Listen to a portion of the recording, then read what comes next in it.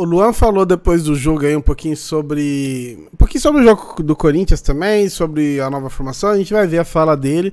E depois uma análise aí, né, sobre o jogo de ontem e o que dá pra gente tirar aí, né? O Abel já falou um pouco disso, a gente vai olhar aqui, analisar também.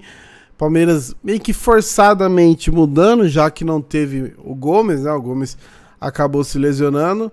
É, mas eu acho que o Palmeiras vai encontrando caminho, né? Óbvio, a gente vai olhar talvez para esse empate com o Corinthians, decepcionado. A gente vai olhar para a frustração da Supercopa, ter perdido nos pênaltis. Mas fato é que o Palmeiras ainda está invicto na temporada e se tornando um time muito sólido já nesse começo de temporada, mesmo com alguns problemas ainda que são normais no começo da temporada. Outros erros não são tão normais, mas acabam acontecendo. Mas vamos ver a fala do Luan depois a gente vê a matéria ali também sobre a formação. Rodrigo Fragoso postou aqui. Perguntei ao Luan sobre a semana do Palmeiras depois do empate com sabor de derrota para o Corinthians. A resposta do zagueiro aqui. Bora. Ter sido uma semana fácil depois do empate no clássico contra o Corinthians, da forma como foi, com as críticas que vocês sofreram. É, como foi a preparação para esse confronto, para deixar para trás um jogo tão duro quanto o da semana passada? Olha, internamente nós sabemos o jogo que fizemos contra o Corinthians. É, acredito que lá no fundo vocês também sabem que foi um grande jogo da nossa parte, tanto defensivo como ofensivamente. Mas isso é futebol. Nós não controlamos tudo e sofremos dois gols e não conseguimos sair daqui vitoriosos num jogo que talvez criamos para fazer quatro ou cinco. Então isso machuca, isso dói. Confesso que é difícil dormir na noite em que isso acontece, mas o próximo jogo é sempre o jogo mais importante. E acredito que hoje foi uma demonstração de quando nossa equipe é madura, é, saímos atrás do placar e buscar a virada 3 a 1 Acho que não fizemos um jogo tão bom hoje como fizemos contra o Corinthians, vale ressaltar isso também, mas isso é o futebol. O resultado toma conta dele próprio. Nós temos que nos preocupar com nossas ações, com os nossos deveres dentro de campo e feliz pela vitória de hoje. E tenho certeza que esses jogos servem para evoluir, evoluirmos e amadurecer. É isso. E, cara, é verdade. o Palmeiras não jogou tão bem quanto o Corinthians. O, jogo do Palmeiras contra o Corinthians não foi só mais fácil, foi o melhor jogo do Palmeiras na temporada. Ontem o Palmeiras teve muita dificuldade, né? Tomou muitos sustos, inclusive, né? O Della Torre, que é artilheiro do campeonato, acabou perdendo alguns gols. Mas muito interessante a fala do Luan. E aí, dentro dessa, dessa resenha aí, ó, análise. Nova formação expõe time, mas classifica Palmeiras às quartas do Paulistão. Abel Ferreira aciona dois zagueiros e nova formação no meio-campo. Só ficou investidas nas laterais, mas conquista virada por 3 a 1 e tira a ponta. A matéria aqui da Camila Alves. Aí, ó, bastaram 14 minutos para a rede balançar na Arena Barueri, mas o gol, mas gol do Mirassol. marcado em uma falha defensiva, não ditou o resultado final. Com uma nova formação empurrada pela torcida, Abel Ferreira viu o time exposto pelas laterais até mudar a estratégia para conquistar a virada por 3 a 1 com a classificação antecipada às quartas de final do Paulistão. Então o Palmeiras já está classificado para as quartas, tá? Ó, rapaziada, eu queria deixar aquele recado. Deixa o like no vídeo, compartilha, curte e se você quiser ser membro do nosso clube de membros, que a gente estreou essa semana, tá fresquinho ainda. Muita, muita vantagem legal, muito benefício. Então clica aqui, ó, seja membro. Você tem dois planos, plano Rudiger e plano pé de meia. Quem acompanha a gente está ligado do que isso significa. Então clica aí se você quiser ir fazer parte do nosso clube de membros, beleza? Continuando aqui a matéria. As mudanças na escalação aconteceram em meio aos testes estadual e pelo elenco à disposição. Gustavo Gomes está lesionado e Rafael Veiga voltou após desfalcar nos últimos dois jogos por uma infecção ocular.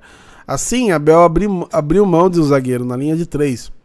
Né? Isso é era uma dúvida que eu tinha. O Palmeiras, portanto, começou a partida numa espécie de 4-5-1 ou 4-2-3-1, que sofreu modificações é, de posicionamento ao longo do confronto. Que a, a dúvida era: você vai é, mexer ali na frente, porque o Veiga não vinha jogando, estava sendo é, Rios, Aníbal, Zé Rafael, Hendrick e Flaco Lopes, né? Não tinha por ter três zagueiros, não tinha o Veiga.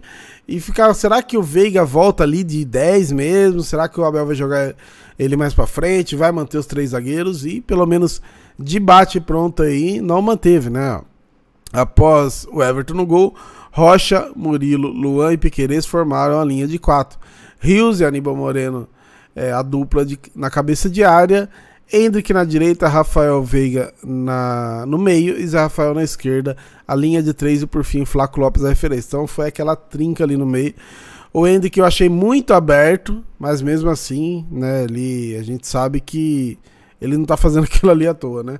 Ele realmente, quando ele consegue fazer aquela infiltração ali, é.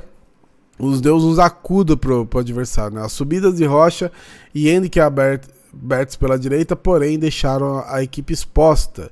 É, sofrendo a maior parte das investidas do Mirassol por esse lado. O Henrique chegou até a tirar uma bola de carrinho, né? Lá na, na zaga. Havia ainda uma dificuldade de conciliar a criação e a marcação, com Veiga no meio, mas é Rafael e Hendrick em polos opostos, com a obrigação de criar e recompor para marcar. E o resultado disso eram espaços abertos pelas pontas e a bola pouco chegando para o Flaco Lopes no ataque, uma dificuldade reconhecida por Abel Ferreira ao fim da partida. A fala do Abel aqui, ó, o Zé tinha uma função, fechar por fora e atacar por dentro. Ele com a bola faz as mesmas funções de um segundo volante crescido, ele é o 8, mas sem bola fecha por fora. Uma coisa é jogar uma linha de 5 com três zagueiros, ou dois zagueiros e um lateral, ou dois laterais. Outra é o Zé de um lado e o Henrique do outro. É mais difícil, iniciou, in, iniciou o técnico. Acho que nos expusemos demais, às vezes querer ser extremamente ofensivo, e foi o adversário que mais nos trouxe dificuldades, mas vou analisar como sempre faço e ver o que há de se há aspectos que podemos e devemos melhorar. Completou. É aqui, ó, Mirassol abriu o placar aos 14 minutos, após escanteio e uma falha de marcação do Murilo na disputa com Chico Kim. E Abel precisou mudar a estratégia pelo lado direito. Aos, aos 24, Aníbal aproximou, é, aproveitou o cruzamento de Luan para, para empatar. A virada saiu aos 14 do segundo tempo em pênalti de Veiga. Aos 44, acionado no banco, Breno Lopes fez 3 a 1 Apesar das dificuldades, na compensação há de se considerar que o Paulista é o período para testes com Abel e pode-se tirar pontos positivos da vitória. O ímpeto da reação da equipe, o desempenho de Everton, bem após falha no clássico, o desencanto de Aníbal com o primeiro gol e a melhora na mira do time. De nove finalizações, oito foram no alvo e três no gol. Para manter a formação em outras oportunidades, ajustes ainda serão necessários. A vitória, porém, é importante para acalmar o ambiente após o empate com o Corinthians e também pela classificação antecipada às quartas de final. Palmeiras entra em campo novamente às 19h30 da quarta-feira. É, no Carindé, diante da Portuguesa, em confronto atrasado pela quinta rodada do Paulistão. Cara, queria parabenizar a, foi aqui, a Camila Alves, cara. Boa matéria e boa análise, viu? Uma análise perfeita aí do que foi o jogo e do que foi realmente os pontos positivos e negativos, né? E complementando o que disse o Luan, né? Curiosamente, o Palmeiras jogou melhor contra o Corinthians do que contra o Mirassol e teve essas dificuldades. Então são coisas às vezes que a gente até pede, pede os três jogando ali, né? O, o Aníbal, o Rios e o Zé. A gente pede a saída de três zagueiros, mas você viu como isso também tem as suas dificuldades, porque você vai passar por um processo até se acostumar. Provavelmente o Abel vai pegar, vai analisar, vai ver se dá para manter essa formação, ou o que dá para corrigir, ou se é melhor voltar para anterior, né? Mas isso aí a gente vai descobrir no próximo jogo. Mas bela análise aí, legal as falas do Luan também. E é isso, né? Vitória contra o Mirassol, vitória importante. E agora fica aí é, o Palmeiras brigando pela classificação geral. O Santos ganhou, assumiu de novo, mas o Palmeiras tem um jogo a menos. O jogo de quarta-feira aí é, contra a portuguesa vai ser muito importante, beleza? Deixa sua inscrição no canal, seu comentário, seu like ajuda demais. Tamo junto.